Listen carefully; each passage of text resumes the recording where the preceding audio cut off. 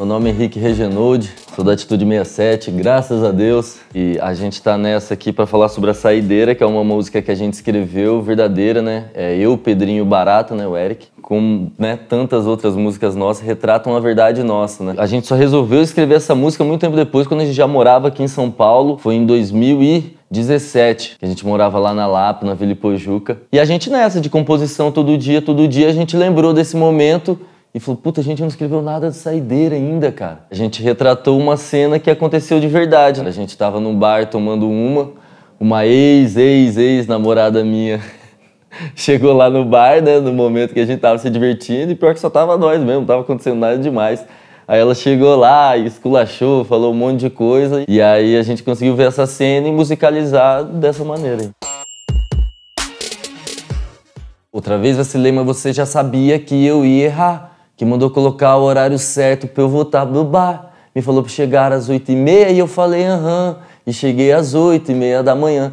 Então o cara já começa se explicando, né? Que foi isso que aconteceu, né? Porra, ficava nessa de, pô, vai de novo, vai encontrar os caras de novo. Vou, cara, de novo, de novo. Ela expõe um horário para ele e chegou às oito, só que da manhã, né? Do outro lado, né?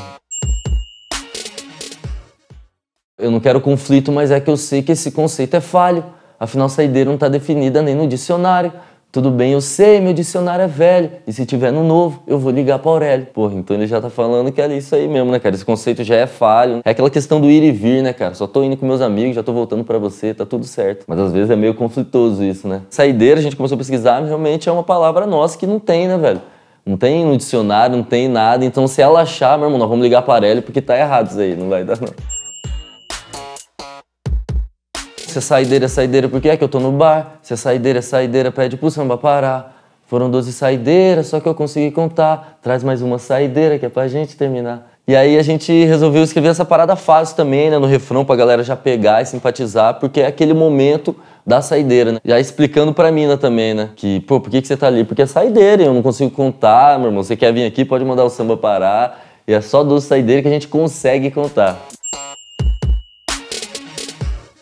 Aí tem o Tô Sem Você, mas tô cheio de lalaiá. E a galera sempre pergunta, cara, o que, que é o lalaiá? O que, que você quer dizer com isso? É engraçado que cada um tem uma interpretação diferente. A gente escreveu com aquela ideia que até entre nós mesmo, um bate de uma maneira diferente o lalaiá, né? Porque depois do momento que ela esculachou, não sei o quê, pô, para com isso, né? Tô sem você, mas o, lalaiá representa o amor mesmo, a amizade, tá ligado? O alegre, a alegria. A gente tá cheio de alegria, cara. Pra que, que vai querer brigar nesse momento? Então é mais retratar essa parada, mais coisa de sentimento mesmo do que tá com alguém uma outra pessoa, sacou? É um momento de felicidade mesmo, cheio de lalaiá, cheio de amor. Então vamos usufruir, vamos tomar mais 12 saideiras e ficar de boa. E a gente tentou retratar isso até no clipe, né, cara? E aí tem esse momento mesmo que ela chega, esculacha em sabor, e no final a gente sai abraçado porque é curtição, né? Então realmente tem isso, não é uma briga, né, velho? Na verdade, como eu disse, até no momento foi um momento cômico do dia da realidade. Porque é isso, cara. Ela viu que não tinha porquê, né? Ficar bravo, embaçar com aquele momento só entre amigos, né, velho? Tomando saideira, pô, todo mundo dando risada. Aí ela sentou, tomou também e se divertiu. A gente gravou essa música com o padrinho, com o Tiaguinho. Pra gente foi uma surpresa. Ele sempre gostou dessa música demais, né, cara? Sempre simpatizou. Aí a gente pensou, pô, vamos fazer um clipe com o Tiaguinho, né? Não é difícil pensar isso, né?